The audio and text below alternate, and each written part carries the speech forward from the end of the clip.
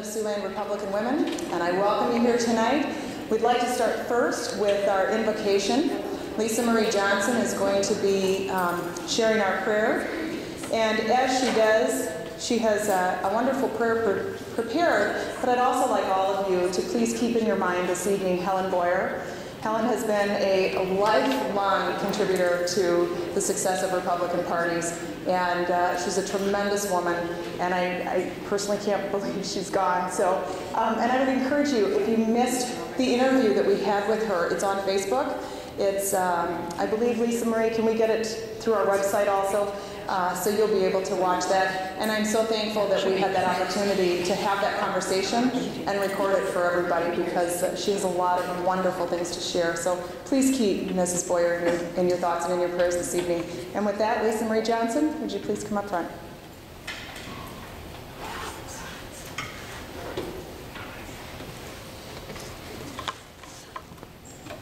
Okay, if we may, please just bow our heads in prayer. Lord, we pray for your blessing on all of our elected officials. We pray for the President that he may conduct the affairs of national government with wisdom, bravery, and true justice. We pray for the members of Congress that they may truly represent the needs of the people and work in harmony for the advancement of all men, women, and children. We pray for the judges that rule the courts of our land, that they may balance justice with mercy and civil law with divine mandate. Grant all of our national, state, and local leaders with the gifts of wisdom, justice, counsel, and fortitude, that they may conduct the affairs of man in accord with the will of God. And we ask for a very special blessing and your protection upon our governor, Dennis Daugaard, the First Lady, Linda Daugaard, and their dear family. Grant to all men the gift of respect for lawful authority, justly exercised, that we may live as a united people, one nation under God. And we ask this in your name, Father. Amen.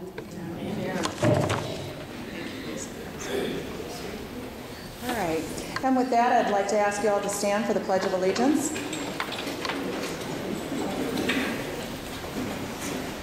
I pledge allegiance of spending a lot of time with Lorna Muckow over the past several months. Lots of conversations, um, wonderful conversations, and it's very exciting that together we're pulling our two groups of women together to spend some time tonight.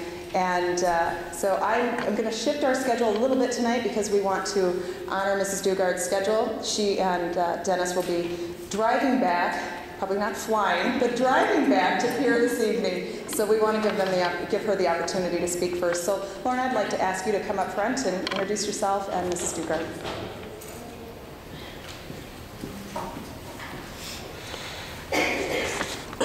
What a privilege and honor to introduce that First Lady. And as uh, Anne said, she is in kind of a hurry to get, get to Pierre, apparently. so I know we'd like to visit with her, but just kind of honor her request and let her leave when she's through without stopping her too often. Now I've got um, a bunch of did you knows, and you probably do know some of these things, but that's the way it is. Did you know that Linda grew up in Dell Rapids? I knew that. She was the third of 12 children in the Schmidt family. Today, eight of those 12 still live in Dell Rapids or Sioux Falls. Linda graduated from Dell Rapids St. Mary High School in 71. Linda attended South Dakota State University, which she, where she obtained her degree in physical education and teaching, a teaching certificate. After graduation, Linda returned to Dell Rapids, where she taught at St. Mary's and coached the school's first girls basketball team. She then worked for several years in the university student life, first at the University of St. Thomas in St. Paul, and then at University of California, Davis, Davis, California, and a great educator and librarian. I know she will make a great First Lady as well, and so she is. Linda.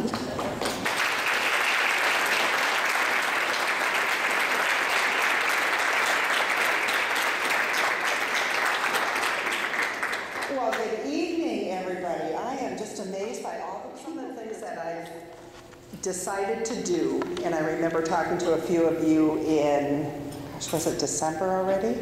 Yes, because we were around a Christmas tree.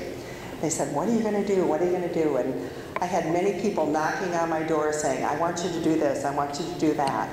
And one of the um, first meetings that we had with other first ladies from around the United States is they said, um, take a few months and decide what you're passionate about and then do those things.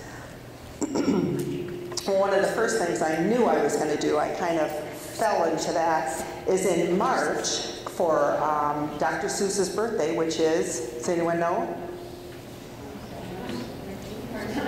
March 2nd. March 2nd is Dr. Seuss's birthday.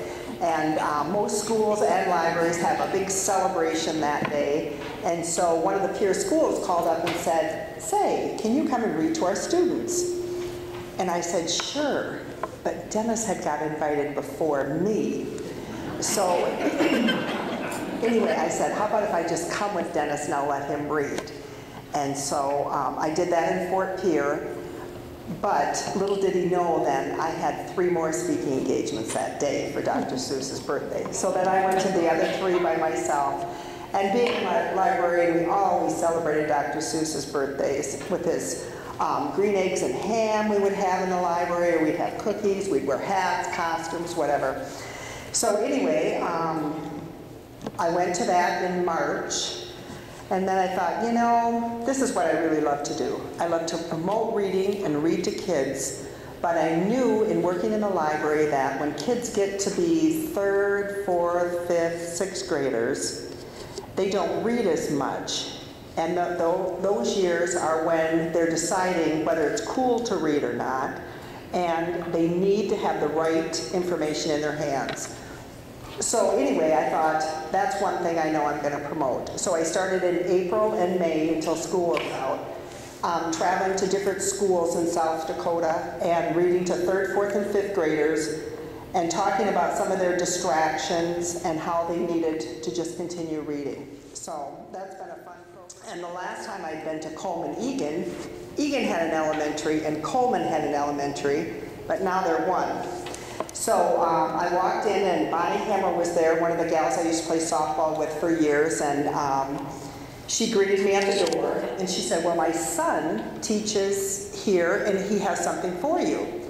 And so he came in and he gave me a t-shirt and it said Colman Egan FFA. I said, well, thank you so much. And he said, you know what? He said, um, I was going to give you a sweatshirt, but you know, our budget was cut 10%, so I'm giving you a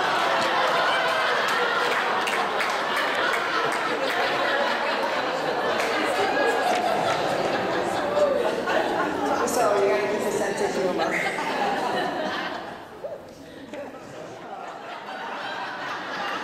So we learned our lesson. We go to the Cree, go park on the east side of school. But anyway, in conjunction with my reading program, I'm doing a little history lesson on the side. Um, when I go to a school, they collect um, gently used chapter books because third, fourth, and fifth graders usually read chapter books. Those are books that have several chapters in them. So then when I go to school, I bring them a box of books. Like today when I went to Colman Egan, I brought them a box of books from Black Hawk, South Dakota. That was my last school. And then um, gave them those books, and now I'm going to take their books, the Colman Egan books, to Canton, which I go to. Um, next thing that I was, I'm involved in is uh, Infant Mortality Task Force. When um, Dennis gave his State of the State speech, in there he said that um, in South Dakota, 79 babies are dying every year, and that that number has been going up the last 10 years. From 1990 to 2000, our numbers were going down through education and um, promoting safe sleep habits and things like that. And now our numbers are starting to go back up. In fact, in 2010, the number was 80 babies that died in South Dakota. So that's one of the last, oh no, that isn't the last thing, I'm sorry. the last thing. so Dennis said, are you sure, Linda? I said, yep, this is my last one. the last one is um, STEM. That stands for Science, Technology, Engineering, and Math. Um, South Dakota needs 8,000 healthcare workers by the time 2018 rolls around. Well, thank you again for having me here tonight. I wanted to save a little bit of time for questions, too. Um, It has been such an honor, though, to be First Lady. You know, going, kids are so darn honest when you go in there. You know, um, they'll say, you know, I thought your name was Michelle. And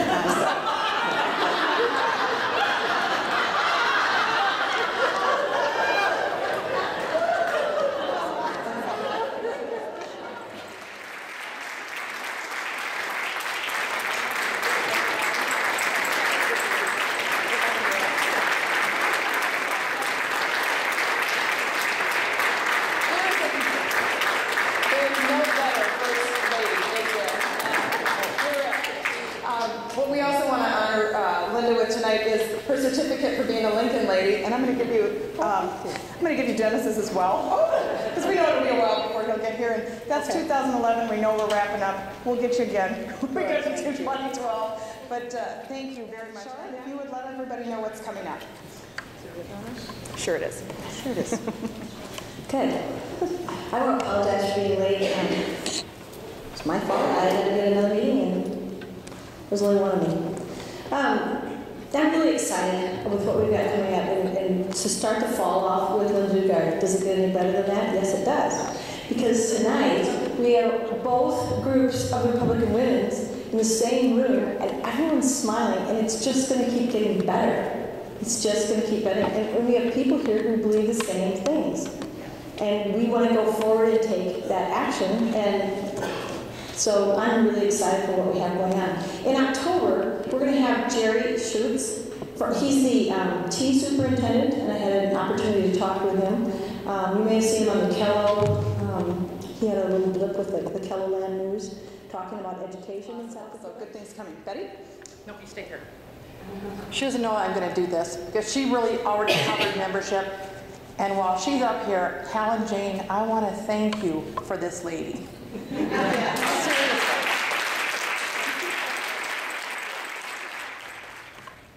Well, I'm Beth Jameson, and we've been talking a while about um, a fundraiser for us that we can just go out and have fun and make some good money so that we can help candidates in future issues that we all agree on and believe in. And with that, we have the Chef Classic coming up. So it's actually a chef competition, and there you'll have appetizers that you will um, taste that the chefs will all be making. There'll be um, four to six chefs, so we're trying to finalize who the chefs are. And then it'll be wine and beer also. And so you'll go around, um, you'll drop a pebble in the judge that you like, or the chef that you like best. And there's no gimmicks, absolutely none. We're not going to, you pay your ticket to come, it's $50. So that gets you food, food and beverage. Um, and nothing else. Just socialize with people that you enjoy being around, other Republicans. It's going to be at Overlook Cafe, which is becoming Utopia at, fall, at uh, the Falls. And so it's going to be beautiful. It'll be candlelight. It'll be wonderful. So it's cocktail attire. So women get your cute little dresses out, and then you'll have sports coats and ties that you can wear. So, um, but it'll be a really fun event. Um, encourage you, grab your brothers, your sisters, your neighbors, your friends, and even if you're not on the same page, but you're both Republicans, bring them along. Whether you're coming to our meetings here, you're coming to the MLRW meetings, whether you're going to any of these other events, we need to pull together as Republicans. So that's really the last thought I want to leave with you tonight, is remember we're all part of one family. And, uh, and I want to encourage you to help us expand that family. Thank you for coming tonight. Enjoy your conversation and your dinner, and I look forward to you being at our upcoming events.